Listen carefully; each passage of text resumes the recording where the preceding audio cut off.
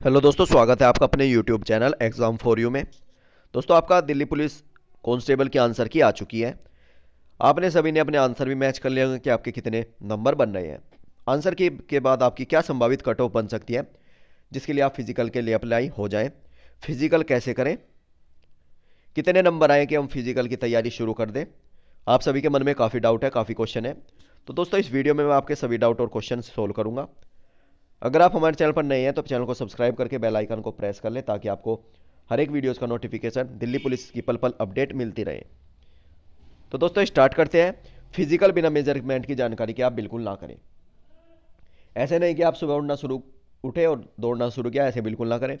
पुरुष अपना मेज़रमेंट के हिसाब से दौड़े और फीमेल अपने मेज़रमेंट के हिसाब से दौड़े। पूरा मेज़रमेंट मैं बताऊँगा क्या क्या क्राइटेरिया है आपका। क्या high jump long jump race मांगी हुई है। कट ऑफ़ भी मैं बताऊँगा। कि आंसर की के बाद आपकी क्या कट ऑफ़ बन सकती है, उसी के हिसाब से आप फ़िज़िकल की तैयारी शुरू कर दें। तो पहले मेज़रमेंट देख लेते हैं, मेल का मेज़रमेंट है आपका। अगर आप थर्टी साल के हैं, थर्टी साल तक के अप टू सोलह सौ मीटर रेस है आपकी छः मिनट में। लॉन्ग जंप है आपकी चौदह फीट हाई जंप है आपकी तीन फुट नौ इंच तो ये अप टू थर्टी ईयर्स का क्राइटेरिया है। और अब अगर आप थर्टी टू फोर्टी ईयर्स है दोस्तों तो सात मिनट में आपको सोलह सौ मीटर रेस पूरी करनी है। लॉन्ग जंप तेरह फीट है हाई जंप आपकी तीन फुट छः इंच है। लॉन्ग जंप हाई जंप में आपको तीन तीन अटैम्प्ट दिए जाएँगे। तो आप तीन अटैम्प्ट की तैयारी कर लें। अगर आपका पहले में नहीं हो पाता, दूसरे में करें, दूसरे में नहीं हो पाता, तीसरे में करें। अगर आपका तीसरे में भी नहीं हो पाता तो आप डिसक्वालीफाई हो जाएँगे।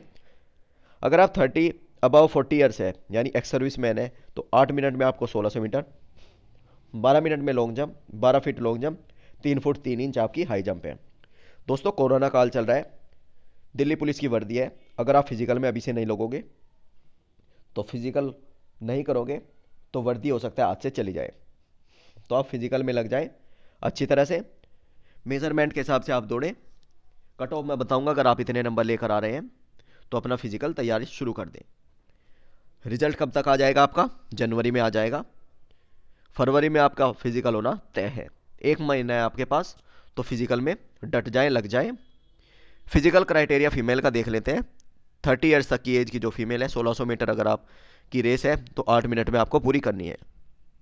लॉन्ग जंप के लिए दस फीट हाई जंप के लिए तीन feet above thirty two forty year जो फीमेल है, नौ मिनट में 1600 मीटर, नौ फीट लॉन्ग जंप और दो फुट नौ inch high jump above forty year जो फीमेल है एक्स सर्विस मैन हो गए इसमें, दस मिनट में 1600 मीटर, आठ फीट लॉन्ग जंप और हाई जंप है आपकी दो फीट छः इंच तो दोस्तों, मैं सभी क्राइटेरिया आपको बता दिया। फ़िज़िकल कैसे करें टाइम मैनेजमेंट करके करें सुबह उठे। अगर आप पहला दिन है आपका रेस का तो पहले 400 मीटर दौड़े। ऐसा नहीं कि पहले दिन आप 1600 मीटर दौड़ लिए। पहले दिन आप 400 मीटर दौड़ें नेक्स्ट डे आप 800 फिर 1200 फिर 1600 इस तरह से आप तैयारी करें।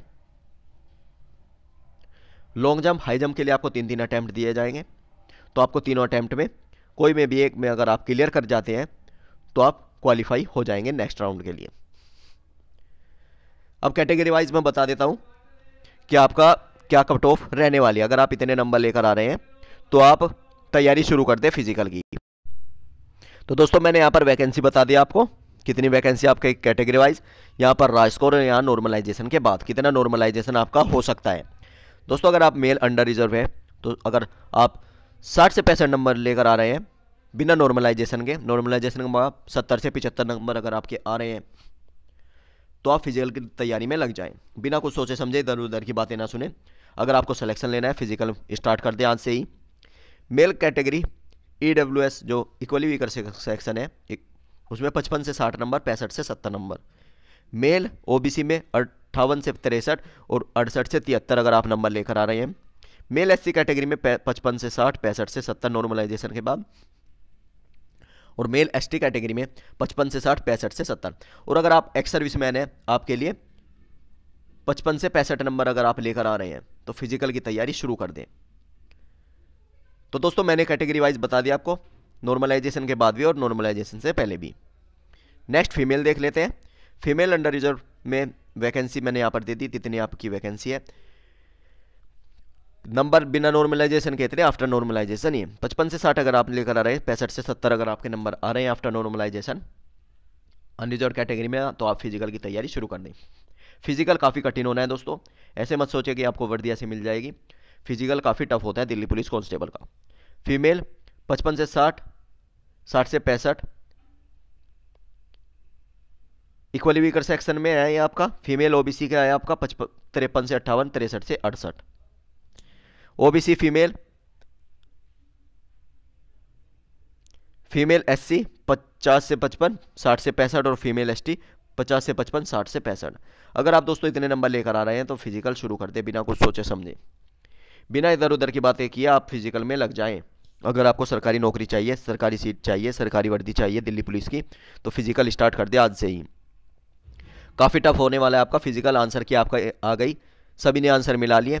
कट ऑफ़ मैंने बता दी। रिज़ल्ट आपका बीस तक आ जाएगा। बीस नहीं तो पच्चीस तक आ जाएगा। जब डेट आएगी कन्फर्म मैं आपको बता दूँगा, लेकिन यहाँ तक आना तय आपका रिज़ल्ट। फ़िज़िकल फरवरी में होना है हंड्रेड परसेंट आपका होना है। यानी एक महीना है आपके पास। अगर आप अभी से फ़िज़िकल की तैयारी नहीं करोगे तो हो सकता है आपका सिलेक्शन रुक जाए। अगर जिस भी स्टूडेंट को सिलेक्शन लेना है तो आज से फ़िज़िकल शुरू कर देगा। अगर आपको हमारी बातें वीडियो अच्छी लगी हो तो लाइक शेयर और सब्सक्राइब किए बिना मत जाए। तो लाइक शेयर और सब्सक्राइब ज़रूर करें। चैनल को पल पल की अपडेट आपको मिलती रही। अगर आपको वीडियो अच्छी लगी हो तो लाइक शेयर और सब्सक्राइब ज़रूर कर दें दोस्तों।